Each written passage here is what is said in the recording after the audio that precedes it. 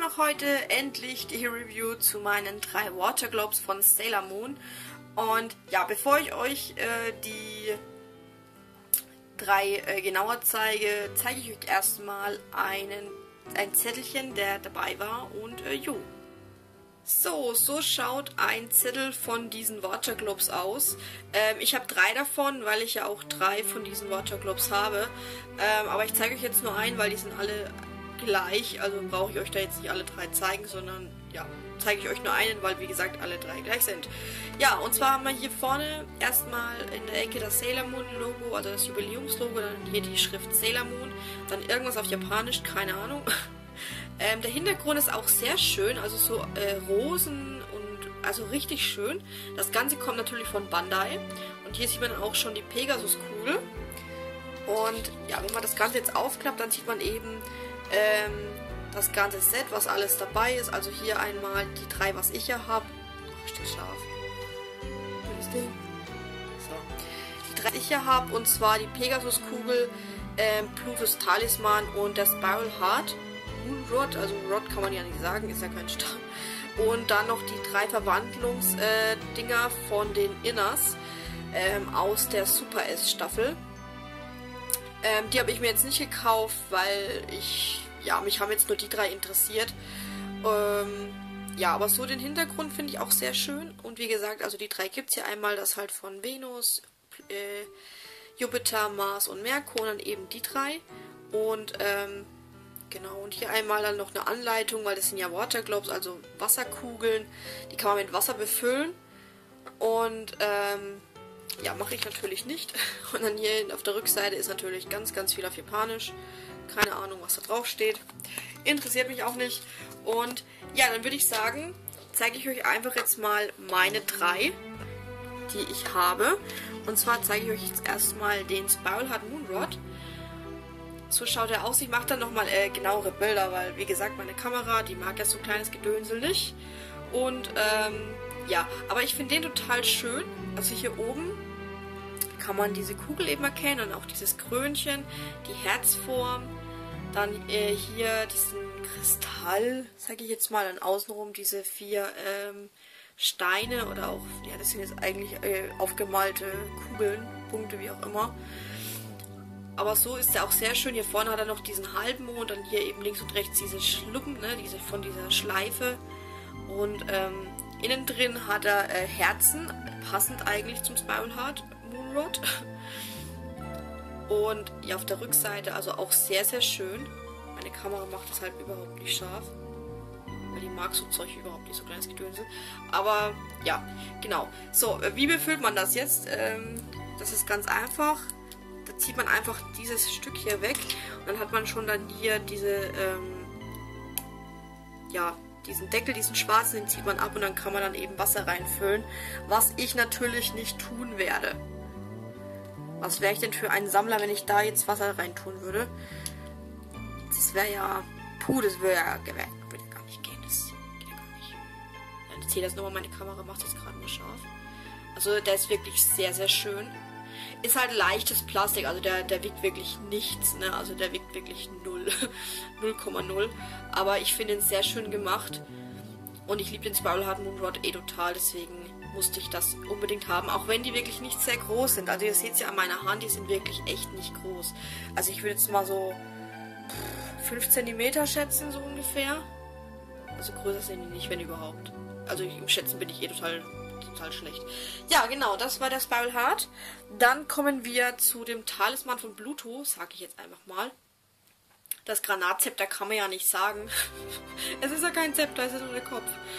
Ähm, auch das finde ich total schön gemacht. Also man erkennt ähm, hier diese, diese Kugel, ne? Dann eben diese große Kugel, äh, wo auch dann äh, das, das Wasser reinkommt. Diese drei Tropfen. Ähm, innen drinne sind ähm, Sterne. Und ähm, ja, auch hier muss man das Teil runterziehen. Dann hat man hier diesen schwarzen Deckel. Den zieht man auch ab und dann kann man dann eben Wasser reinfüllen. Dann ist auch hier noch so ein, so ein äh, Dings da, so ein siebartiges Teil, damit halt die Sterne nicht rausfallen. Und dann kann man dann eben dann Wasser reinfüllen und dann hier wieder zumachen. Irgendwie so tun. Ich bin doof. Ach, hier. Irgendwie. Hä?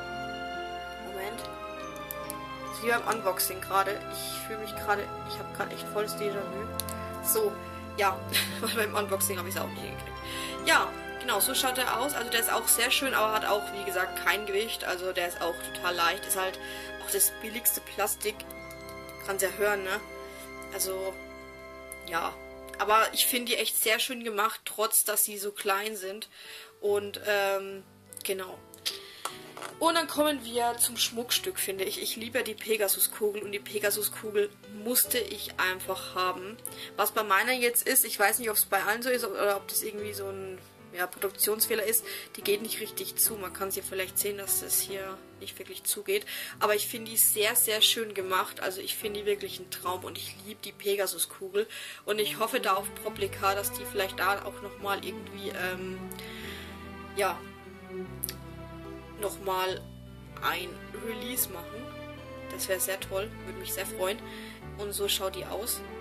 Also hier oben ne, kann man leicht verschwommen. Wie gesagt, ich mache nur mal Bilder, keine Angst. Ähm, kann man diese, diese Sonne oder was es ist mit Flügeln sehen. Und dann ja auch äh, lila bemalt, diese Kette, die hier außen rum geht. Dieses, dieser rote Stein. Und auch hier unten der Sockel und alles ist sehr schön gemacht, so richtig so golden. Also total schön. Also ich finde die echt ein Traum. Ich finde die echt wunderschön. Wenn meine Kamera das mal irgendwie scharf stellen würde, wäre das noch schöner. Ja, dann, äh, wie macht man hier Wasser rein? Da muss man den Deckel abmachen. Dann hat man hier dieses, ja, dann hat man hier diese, diese Halbkugel. Ähm, hier drinnen sind goldene Sterne. Und auch da hier muss man dann den Deckel abmachen. Irgendwie so. Dann auch ist hier ein Sieb drin, so, so eine Art Sieb, wo, halt, wo das halt nicht die Sterne rausfallen. Und dann, wenn man es befüllt hat, kann man es wieder reinsetzen. Und ähm, ich stelle mich gerade wieder total blöd an. Irgendwie. So, genau. Und dann hat man dann eben dann eine befüllte äh, Pegasus-Kugel, wenn man das natürlich macht. Wie gesagt, ich mache es nicht. Und ähm, ja, auch hier, also der ist, ist auch total federleichtes Teil, ne? Aber ich finde einfach so schön gemacht, so klein wie sie auch immer sind, die Sachen von, von Bandai, also die Sachen von Sailor Moon. Umso schöner sind wirklich trotzdem auch die, ähm, die Sachen. Und ähm, auch das Teil ist federleicht, aber hat, ist auch wirklich nicht sehr groß. Also man sieht es ja ne, so von der Hand her.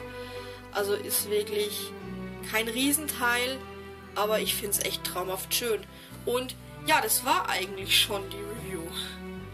Ja, meine Lieben, das war die Review zu meinen drei Water Globes von Sailor Moon. Und ähm, ja, also ich kann euch trotzdem die, äh, die Worte Glaubs nur empfehlen. Also auch wenn sie wirklich klein sind und eigentlich bei Figuja jetzt nicht gerade billig. Also ich habe, ähm, soweit ich das noch irgendwie in Erinnerung habe, habe ich glaube ich äh, 10 Euro für eins bezahlt. Ja, das sind ja trotzdem jetzt 30 Euro, was hier stehen.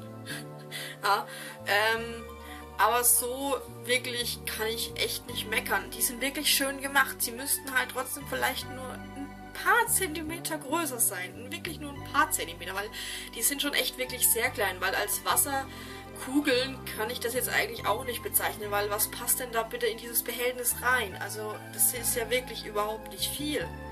Wenn da vielleicht zehn Tropfen reinpassen, dann ist es echt schon viel, weil man muss ja trotzdem noch ein bisschen Luft lassen.